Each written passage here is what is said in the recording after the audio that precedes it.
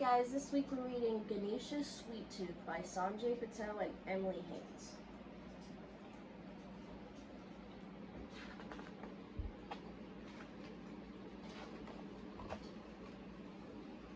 Ganesha is a Hindu god. He's very important and powerful and a tad chubby.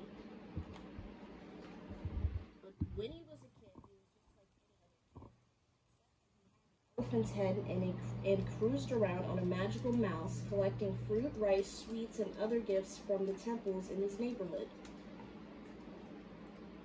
Ganesha loved to eat sweets and candy, especially the traditional Indian dessert laddu. His best friend, Mr. Mouse, could eat only one at a time, which was okay by Ganesha. He didn't want to share all his ladoos. Squeak! One day, while Ganesha and Mr. Mouse were looking for sweets, they discovered a new kind of ladoo. The Super Jumbo Jawbreaker ladoo. Ganesha snapped, snatched up the tiny treat and was about to eat it right there on the spot. Wait, squeaked, squeaked Mr. Mouse. Don't eat it. It's a jawbreaker. It'll break your tusk. But I'm a god, said Ganesha. I'm invincible. Ganesha popped the ladoo in his mouth. He bit down and... Snap! Squeak! Oh no, Mr. Mouse yelled. How will I ever put my tusk back on? Ganesha wailed. Ganesha was very clever and tried all sorts of ideas. What if I tie it with on with string? What if I stick it on with glue?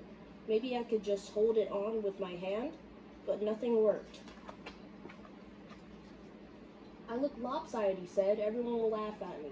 No, they won't, said Mr. Mouse. Everyone loses their teeth, and besides, you already have an elephant's head, and your friends still love you. Ganesha wasn't convinced. He thought he looked awful. He took all his anger and frustration and hurled his tusk at the moon. But the tusk didn't hit the moon. It sailed over a bush and hit the head of an old man who was walking by. Is this your tusk? the old man asked. I'm sorry, said Ganesha. I didn't mean to hit you. I was aiming for the moon. What's your name? I'm Ganesha, and this is Mr. Mouse. You're Ganesha? the old man exclaimed. I've been looking for you. I'm Vyasa, the poet, and I need a special scribe for a poem. It's so long that no man could ever write the whole thing. All the pens in the world would break before it was done. I'm not a man, said Ganesha, and I love stories, but I don't have anything to write with. What about your tusk? Vyasa asked. That's just a big tooth, Ganesh said. It's a very special tooth, Vyasa explained, holding, handing Ganesh a piece of paper. Give it a try. Ganesha took the paper and pressed down with the tip of his tusk. It made a mark. Ganesh was so excited that he drew a flower and a tree and a picture of Mr. Mouse, along with a few of his other favorite things. I love my tusks, said Ganesh. I'd be happy to help you. What is your story about? The beginning of things, said Vyasa. It's rather hard to sum up. It's called the Mahabharata. Excuse me, said Mr. Mouse, jumping on the end of Ganesh's trunk. I don't mean to interrupt, but what exactly are the terms of this agreement? It is a very long poem after all. Can you tell the whole story in one go, Vyasa? No stopping?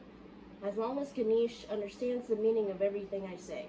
Can I eat sweets while I write? asked Ganesh. As long as you don't stop writing, said Vyasa.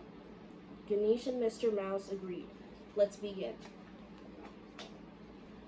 As Vyasa spoke, Ganesh put his tusk to the paper and began writing. Soon he forgot forgot about the super jumbo jawbreaker ladoo and how funny he looked. He even forgot about the sweets he wanted to eat. Long ago, Vyasa said, there lived a very brave king of Hastinapur. Hastinapur. One day when he was out hunting, he happened upon a beautiful woman sitting on the banks of the Ganga River.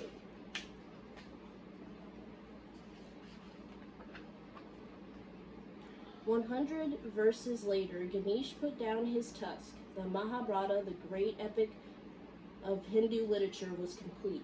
Ganesh peeked around a stack of paper and saw that Mr. Mouse had been eating his way through the ladoos as they worked. The poem had been had taken a very long time.